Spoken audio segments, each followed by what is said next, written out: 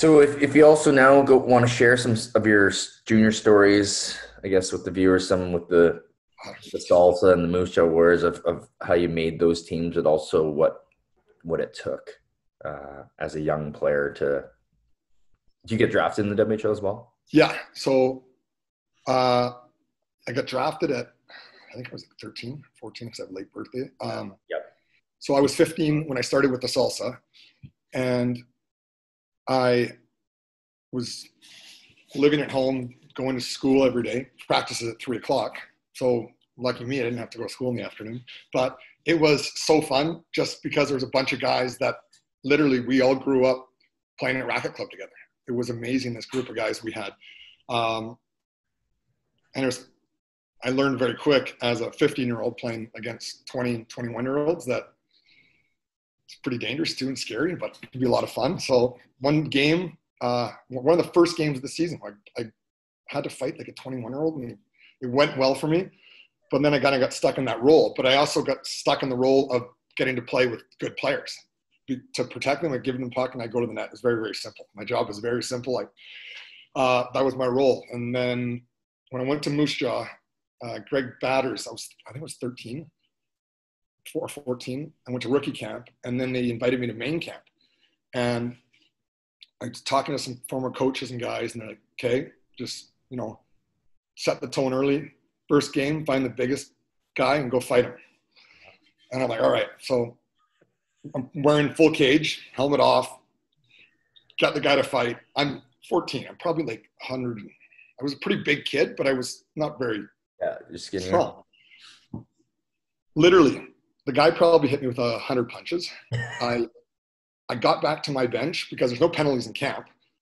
I had lumps everywhere in my head. I couldn't put my helmet back on.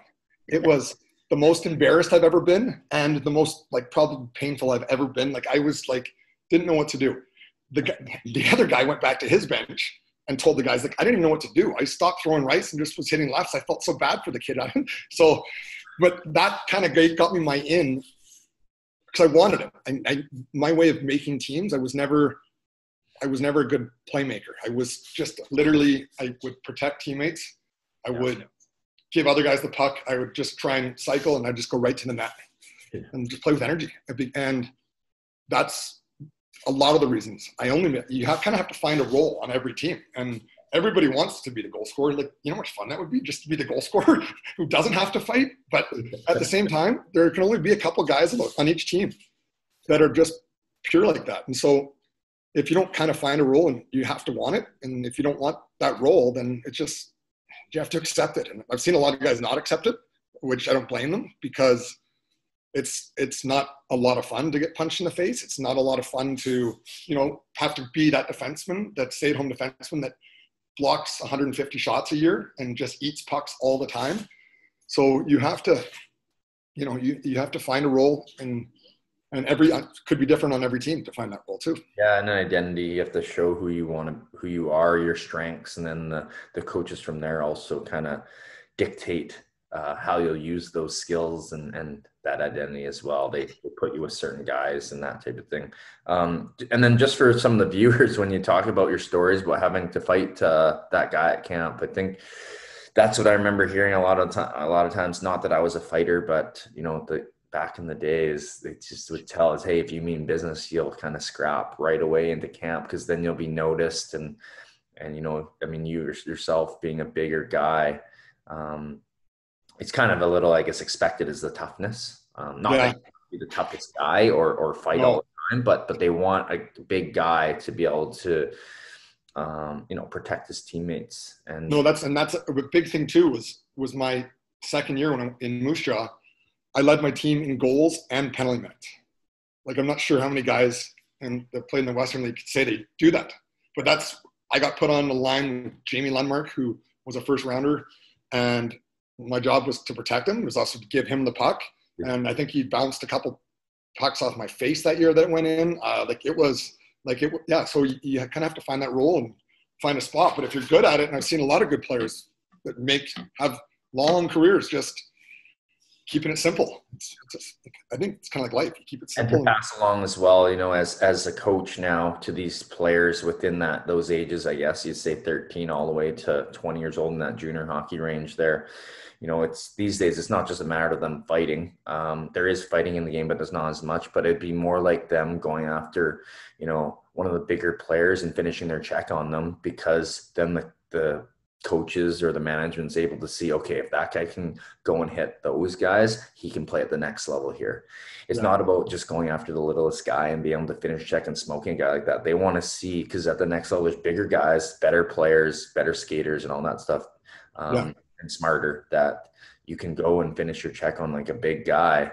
then you could probably you know if you're going to con- continuously and consistently do that then you're going to be able to play at that next level Well, I agree. And a big thing too is is everybody kind of has their strengths and, like you said, find a role. But it's not about being a complete, not for everyone, like a complete all around player in every spot. But like if your strengths are playing with energy and running around and keep working on your strengths even more because that'll that helps you stand out more. If you're a re- really good playmaker, just you know you don't have to worry about running around as much. But yeah, it's just play yeah, your and on strengths that when you say playmaker, I mean the biggest thing, like like how you mentioned before, and, and life skills is is you got to have that drive and work ethic. If you if you hunt pucks down and you're a playmaker, you're going to get that many more uh, opportunities to make plays, um, Yeah. but also to get probably more points. If you're if you're getting those chances, percentage wise, you're probably going to get more assists or, or points that way. Yeah.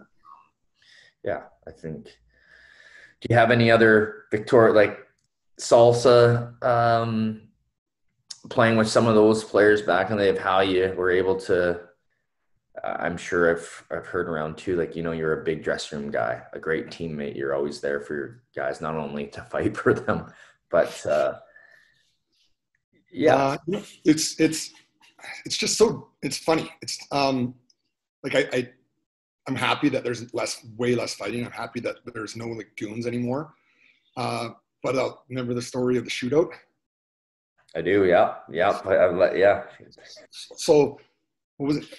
It was overtime. We're playing Surrey in Victoria, the salsa, and our cap or their goalie started piling up all the snow in front of the net. So our captain, Jason Keane, jumps the boards and tells the ref and move all the snow out, all that kind of stuff. And so, of course, we go down and shoot. So as soon as we go to shoot, their tough guy who doesn't play a shift the whole game jumps the boards and starts shooting snow at our goalie. And I knew right away, like no one has to say anything, but I had to jump. I just jumped the boards, and I had to go fight him. I had to go help fight him for our teammate, and he beat me up too. But I was just like, that's the thing. It's like I was I'm Fight willing to, to do, it for the Yeah. boys. yeah i remember that story as a fight and shootouts and i don't know if you ever really see that too often so that was the old school way when there was like there wasn't really stuff on the internet yet to find out whether games would call. You would call like the, the some hotline. It was like this thing. It was like the same thing you could call for movies back then. You call this hotline and it'd be like, all right, today today's games in the BC Junior Hockey League, we had so and so playing so and so, and then they'd say the score. And I remember calling that night, and it just said, well, today in the BC Junior Hockey League, we had a fight in the shootout, and I was just like, I was kind of like more mortified than anything. but it was just like my mom was furious. I remember that hotline thing. I used to call all the time as a little fan. Yeah, I know. it's I- unreal. yeah. Now we have all this internet technology stuff. So, so also too, though, wasn't it? What I had heard too is, wasn't it? So he, they were piling snow, but did you hop the bench and pile snow too, or you didn't? You just went and scrapped the guy. no, I didn't pile snow, but their like meatball jumps the bench and started like shooting snow at our goalie, like in the like up, like in the middle of the shootout. So I was just like, all right, yeah, so bad. So, but it's just like look back at stuff like how, but Yeah, yeah, I'd be showing up showing up at school uh, because I was 15. I was riding with teammates to practice every day. And we had to get a billet. One of the guys that played on the team that would drive me. He'd come to my school, and we'd have to drive together every day. And it was just like I'd be showing up at school, like just black eyes, broken nose all the time. People just like it was, but I remember one of the. So you the boys. when you had gatherings and being friends with your younger brother Cal, I remember that one time when I had Bill at Martin Korea over and uh, sort of for the year, and he you had him over. I ended up coming over, and then you had that. I don't know. Everyone was finishing up, but we were in the same car. I remember it was like you, Greg Zan, and uh, it potentially might have been Keen and maybe Nate Leslie, maybe. And uh, I don't know. Everyone was going home, but I remember in the car, I was like in my dream world of hanging out with the salsa guys when I was. Younger. Oh no, and like probably Petty was there too. Or, yeah, yeah, yeah. Uh, no, those were. Uh, that's the thing, though. It's like that's that culture of like just the brotherhood of playing sports, and that's you know, um, I haven't like I hadn't played in four years since my I retired with neck and back surgeries, and I literally opened, like I said, I opened my, up my bag last week, and I hadn't opened it up in four years. I didn't know what I had, didn't know what I needed, what what was what to do basically to get to get dressed again. Went out and played my first men's league game, and literally being in the locker room with the guys was took me back to just being a kid again. It was just the way we just talked to each other and and yeah and it was so fun until the next day when I was so sore I couldn't basically walk for five days just because you know you go back and you're just gonna go 100 miles an hour again because that's so much you know. But it was yeah it was really cool. It was a lot of fun. I missed it.